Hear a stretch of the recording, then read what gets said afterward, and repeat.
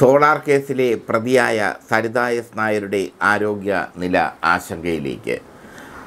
സരിത ഗുരുതരാവസ്ഥയിലാണ് എന്നാണ് റിപ്പോർട്ടുകൾ. സരിത എസ് നായരെ ഭക്ഷണത്തിൽ പലതവണയായി രാസവസ്തു ചേർത്ത് കൊലപ്പെടുത്താൻ ശ്രമിച്ചുവെന്ന പരാതിയിൽ ക്രൈംബ്രാഞ്ച് കേസെടുത്ത് അന്വേഷണം ആരംഭിച്ചിട്ടുണ്ട്. മുൻ ഡ്രൈവർ ബിനുകുമാറിനെ പ്രതിയാക്കിയാണ് കേസ്. നാല് മാസത്തെ പ്രാഥമിക അന്വേഷണത്തിന് ശേഷമാണ് കേസെടുത്തത്. പരാതിക്കാരിയെ കൊലപ്പെടുത്തി സാമ്പത്തിക ലാഭം ഉണ്ടാക്കുക എന്ന ഉദ്ദേശത്തോടെ ബിനുകുമാർ സരിത നൽകിയ പീഡന പരാതിയിലെ പ്രതികളുമായി ചേർന്ന് ഗൂഢാലോചന നടത്തിയതായി എഫ്ഐആറിൽ പറയുന്നു. ഇടത് കണ്ണിന്റെ കാഴ്ച ഇപ്പോൾ സരിതയ്ക്ക് നന്നായി കുറഞ്ഞിരിക്കുന്നു.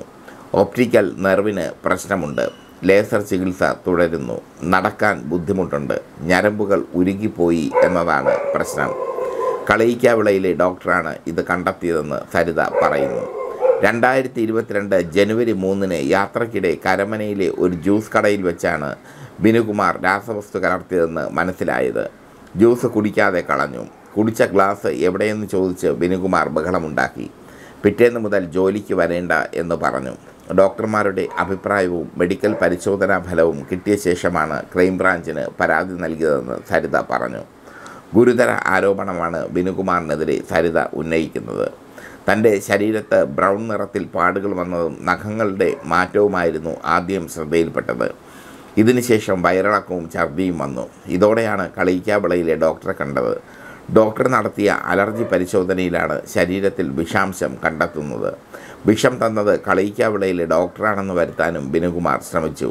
ആ ആശുപത്രിയിലെ പി ആർ ഒയ്ക്ക് ചില കോൺഗ്രസ് നേതാക്കളുമായി ബന്ധങ്ങളുണ്ടായിരുന്നു. ഇതുമായി ബന്ധപ്പെടു ബന്ധപ്പെടുത്തി ആശുപത്രി അധികൃതരുടെ തലയിൽ വയ്ക്കാൻ പരമാവധി ശ്രമിച്ചു. എന്റെ അമ്മ പോലും സംശയമുയർത്തി. എന്നാൽ പിന്നീട് കാര്യങ്ങളെല്ലാം വ്യക്തമായി. ഇതോടെ ബിനുകുമാറിനെ ഒഴിവാക്കി. പരിശോധനകളിൽ വിഷാംശം തെളിഞ്ഞെന്നും സരിത പറയുന്നു.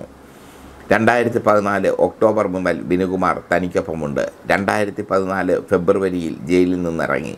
ജയിലിൽ നിന്ന് മോചിതയായ ശേഷം താമസിച്ചത് ബാലകൃഷ്ണപിള്ള സാറിന്റെ നിർദ്ദേശാനുസരണം ശരണ്യ മനോജിന്റെ ബന്ധുവീട്ടിലാണ്. എന്തുകൊണ്ടാണ് അങ്ങനെ താമസിച്ചതെന്ന് ആർക്കും മനസ്സിലാകും. അതിപ്പോൾ പറഞ്ഞിട്ട് കാര്യമില്ല. ഓഗസ്റ്റിൽ വീട്ടിലെത്തി. കേസുണ്ട് ജോലിയില്ല. അതിനിടെ തമിഴ്നാട്ടിൽ ജോലി കിട്ടി. സ്ഥിരയാത്രയുണ്ടായിരുന്നു. ടൂർസ് ആൻഡ് ട്രാവൽസിൽ നിന്ന് വണ്ടി പിടിച്ചു. ടാക്സി കെ എൽ ട്രാവൽസിൽ നിന്ന് ആദ്യം വന്ന പയ്യന് കുവൈറ്റിലേക്ക് വിസ വിസ കിട്ടി. പിന്നീട് വന്ന ഡ്രൈവറാണ് ബിനു കുടുംബപരമായി ഏറെ ബുദ്ധിമുട്ടുണ്ടായിരുന്നു ബിനുവിന് പിന്നീട് കാറ് വാങ്ങി. അപ്പോൾ ബിനു ഡ്രൈവറായി. അതിനുശേഷം ബിനുവിന്റെ കുടുംബവും കൂടെയായി. എനിക്കൊപ്പം അമ്മയും മക്കളും മാത്രമാണ് ഉണ്ടായിരുന്നത് അന്ന്. ആരുമില്ലാത്ത ആരുമില്ലാത്ത അവസ്ഥ. അതുകൊണ്ട് തന്നെ ബിനുവിന്റെ വലിയ കുടുംബം തനിക്ക് താങ്ങും തണലുമാകുമെന്ന് കരുതി വീട് വെച്ച് കൊടുത്തു. അതിനുശേഷമാണ് ഞാൻ വീട് വെച്ചത്. അപ്പോൾ തന്നെ ബിനുവിന്റെ കുടുംബാംഗങ്ങളുടെ രീതികൾ മാറി. ആരോടും വഴക്ക് കൂടരുതെന്ന് അമ്മ പറഞ്ഞതിനാൽ അതൊക്കെ അതൊക്കെ കണ്ടില്ലെന്ന് വെച്ചു. എന്നെ ആ സമയം പലരും വിളിക്കുമായിരുന്നു. പലരും വിളിച്ചത് ബിനുവിന്റെ ഫോണിലാണ്. കേസ് കൊടുക്കരുതെന്ന് പറഞ്ഞ് കോൺഗ്രസ്സുകാരും വിളിച്ചിരുന്നു. എന്റെ എല്ലാ കാര്യവും നോക്കുന്ന ആളെപ്പോലെ ബിനു മാറി. കേസ് ഒതുക്കാൻ വിളിക്കുന്ന കോൺഗ്രസ്സുകാർക്ക് ബിനു സ്വന്തം നമ്പരും വിലാ സ്വന്തം നമ്പർ നമ്പർ പലപ്പോഴും നൽകി.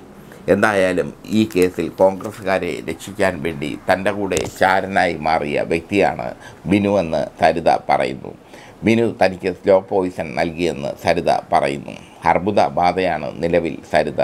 അതിനൊപ്പമാണ് സ്ലോ പോയിസൺ ബിനു നൽകിയിരിക്കുന്നത്. എന്തായാലും ബിനുവിനെതിരെ ശക്തമായ ആരോപണങ്ങൾ ഉന്നയിച്ചുകൊണ്ട് സരിത രംഗത്തെത്തിയിരിക്കുന്നു. ബിനു തന്റെ കൂടെ കൂടിയ ചാരനാണെന്ന് സരിത പറയുന്നു.